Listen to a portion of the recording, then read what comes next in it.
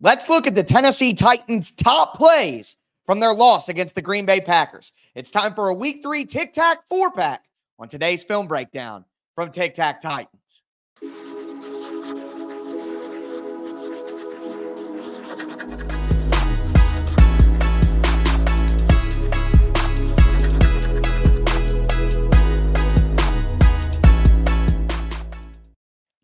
Fans, welcome to another film breakdown from Tic Tac Titans, your home for Tennessee Titans X's and O's. I am your host, Tyler Rowland, 25 years a Tennessee Titans fanatic. I've covered the team for USA Today, Sports Illustrated, and I've been the host of the number one Tennessee Titans podcast, Locked on Titans, for six years. I'm also a certified film junkie, breaking down the X's and O's with you guys for free all year long.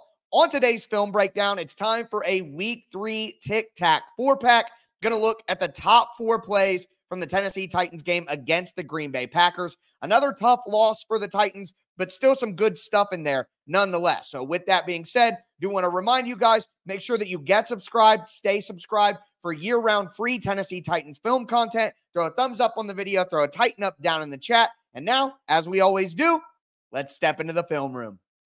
First play of our Tic Tac four pack from week three. It's a touchdown for the Tennessee Titans.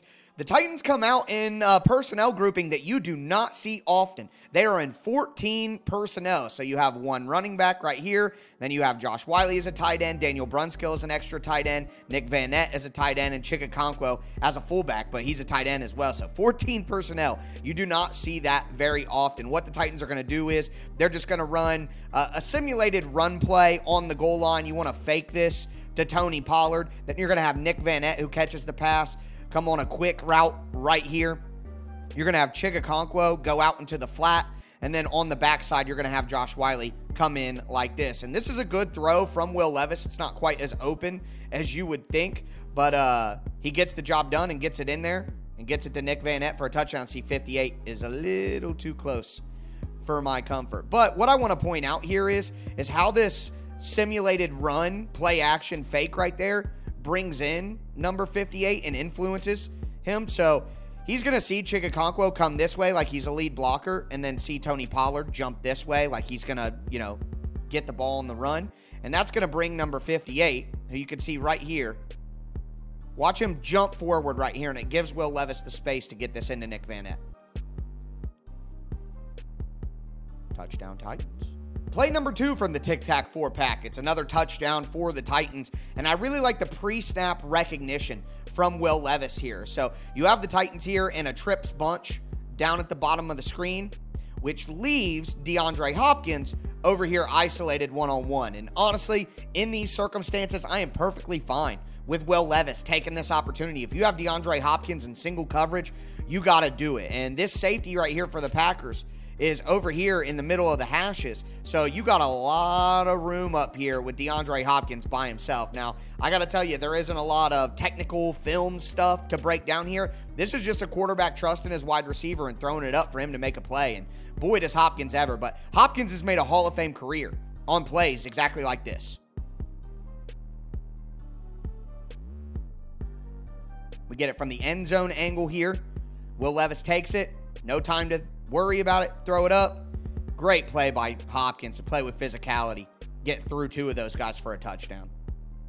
The Titans got three sacks on Malik Willis in this game, and honestly, the defensive performance wasn't good enough, but they still did get some pressure on Malik Willis in certain instances. See a, a play action fake looking for a shot play for the Packers.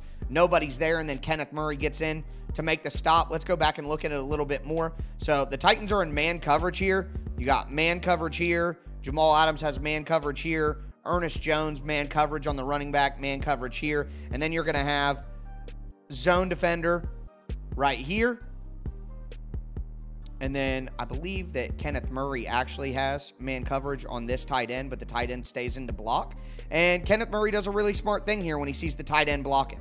So you could see this tight end, which is Kenneth Murray's man responsibility, stays in the block. So Murray, who doesn't have a responsibility at this time, just keeps eyes on the quarterback here, okay? He's just got his eyes on the quarterback. And what ends up happening is Murray says, All right, I know this is a pass. It's time to trigger. My guy's staying in. And he triggers in, gets around a lineman, Malik starts to dance, but Murray's a good athlete, and he ends up bringing him down. So that's just good instincts by Kenneth Murray. Now, I didn't think Kenneth Murray had a fantastic performance in this game, quite honestly, but he did make a few plays. He ended up with two sacks in this one. See, he looks, looks, trigger, slides through, makes the sack. This is third down in the red zone for our final play of the Tic Tac four pack. This is a four point saving play from the Titans defense. Malik Willis is looking for anybody to be open. There's really nobody there. He starts to scramble as he's wont to do, and the Titans find a way to make the play. Now, I want to break this down a little bit more for what the Titans are running here. The Titans are in a red zone cover two. So it's a little different because it's the red zone. You're not going to get as deep. You're not going to drop as far into your zones. But you have deep half here, deep half here. JBJ guarding the flat, Sneed guarding the flat, then you're going to have hook defenders over the middle. So Roger McCreary, Ernest Jones, Kenneth Murray, all sitting there over the middle of the field. All right, so as the tape goes, you can see, and I want to point out Kenneth Murray once again. Again, I didn't think it was a great game for Kenneth Murray, but he does a good job here because this wide receiver is going to come and sit down, and Kenneth Murray does a great job of shooting to him to take him away because that's what Malik Willis is looking for. This is a two read look for Malik Willis. Either you hit the flat out here or you hit the sit down right here. Well, the flat is taken away by L'Jarius Sneed because the Titans are in cover two and he's playing hard flat. And then Kenneth Murray does a good job of taking this away. And when that happens, that's when Malik Willis is like, oh, I got to scramble. See, Murray jumps to it. Good job by Kenneth Murray. Now, if you look over here, nobody right there. Two guys right here watching this guy. There, there's no one there. All right. And this is when the effort from the defensive line kicks in. So Jeffery Simmons has not had a fantastic start to the year. Nobody really has for the Titans, if we're being honest. But Simmons plays with great effort here. I mean, he's got a bunch of guys right here that he's around. But Simmons continues to work and he gets off the blocker, and you can see him right here. And good job right here by Harold Landry to keep contain on Malik Willis. You cannot let Malik Willis to the outside. The Titans did that too many times, but they do a good job here of not allowing that to happen force the runner back into your help.